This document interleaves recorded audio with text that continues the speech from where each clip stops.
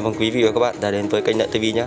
Hôm nay Lợi TV đang có mặt tại một cái lễ hội nhảy lửa của người dân tộc Pa Thèn các bạn ạ.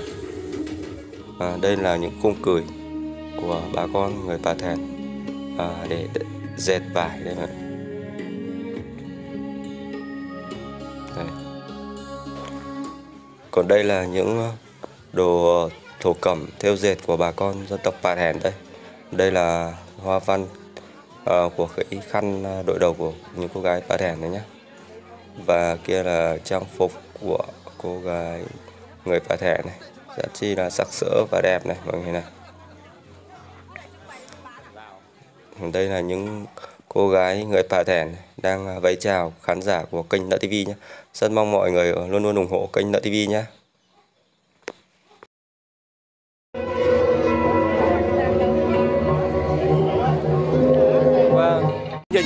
nhỉ thanh niên nhảy nhỉ?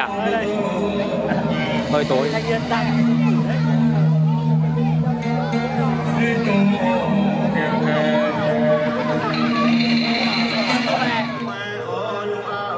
Đây là thầy cúng đang chuẩn bị những lễ để cúng ờ, trước khi để nhảy nhé mọi người nhé thường thường thì có con gà này bát gạo này và chai rượu này. Tiền ờ, vàng nữa. Đây, tiền vàng và cả cái đầu lợn này mọi người. Thầy đang chuẩn bị những công tác cúng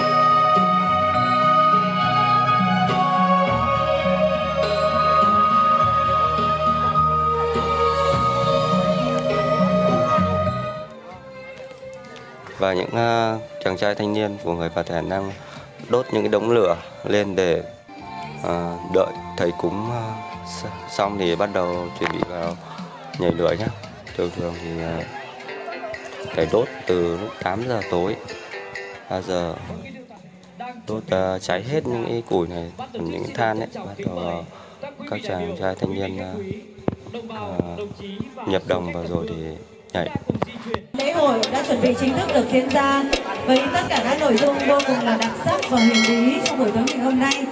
À, ban tổ chức chúng tôi xin trân trọng kính mời. Ngay sau đây trở về tại khu vực sân khấu chính tại các hàng ghế danh dự.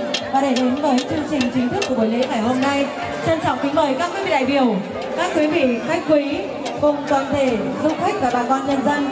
Mời toàn thể các quý vị chúng ta khẩn trương trở về tại khu vực lễ đài sân khấu. Để chương trình chuẩn bị được bắt đầu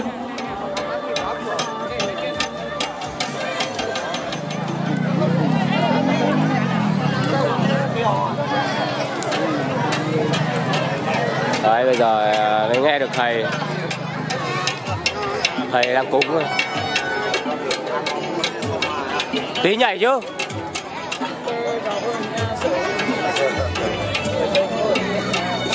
Anh ơi hội ấy, hội nhau ấy. À, tí ngồi nhảy nhá.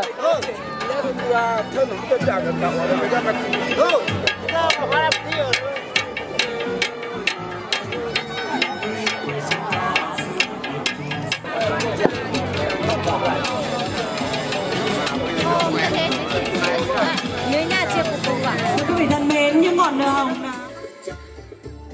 đây là những ngọn lửa đã chuẩn bị uh, tàn rồi.